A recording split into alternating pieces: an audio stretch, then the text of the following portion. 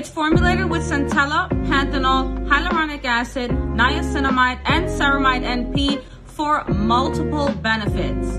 This is a great serum for any skin type, including sensitive ones, and it's cruelty free, clean certified, and non irritant tested.